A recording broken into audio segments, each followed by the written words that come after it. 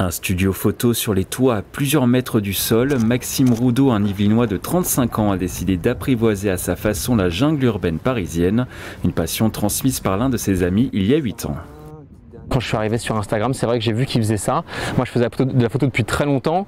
Donc, du coup, euh, je ai dit, bah tiens, j'aimerais bien, euh, j'aimerais beaucoup un jour te suivre et, y aller. Et puis, c'est un petit peu comme ça que j'ai été croqué. Dès la première fois que je l'ai fait, j'ai trouvé ça vraiment extraordinaire.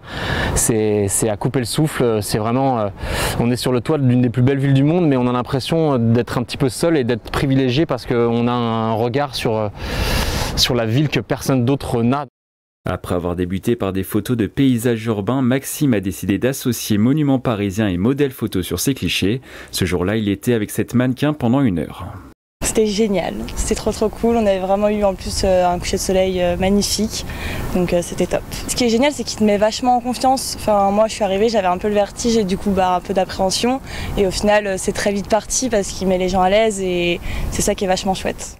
Un travail atypique qui lui a également permis de collaborer avec de nombreuses personnalités. J'ai eu euh, des demandes assez atypiques. Euh, de, j'ai shooté des célébrités, des youtubeurs très connus, Miss France, j'ai même shooté euh, Miss Univers.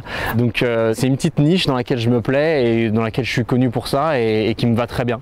Maxime n'oublie pas dans son travail sa ville de cœur, Saint-Germain-en-Laye, une commune où il est né et a grandi. Le photographe immortalise régulièrement ses monuments sur son appareil, toujours à plusieurs mètres du sol. C'est une ville qui dégage euh, vraiment beaucoup de choses. J'aime beaucoup parce que elle a un petit côté un petit peu euh, ville euh, de caractère, ville un petit peu de province, tout en étant très très proche de la région parisienne. un petit caractère un peu village que, j'apprécie énormément. J'aime beaucoup Saint-Germain-en-Laye. Il y a vraiment une atmosphère particulière que je n'ai pas envie de lâcher. Capter les contrastes, les ombres des nuages, l'ambiance d'une ville toujours changeante à travers son objectif.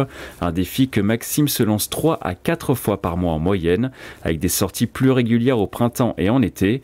Avant de s'aventurer sur les toits, le photographe étudie longuement les alentours, des lieux cachés dont il veut garder le secret pour les conserver.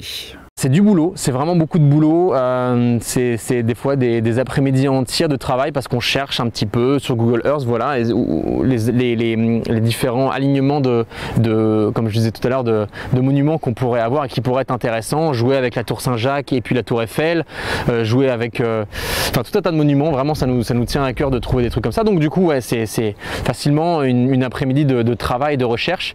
Des recherches pour dénicher les meilleurs spots, Maxime veut continuer cette passion pendant de nombreuses années, avec toujours cette idée de partager ses clichés avec le plus grand nombre sur les réseaux.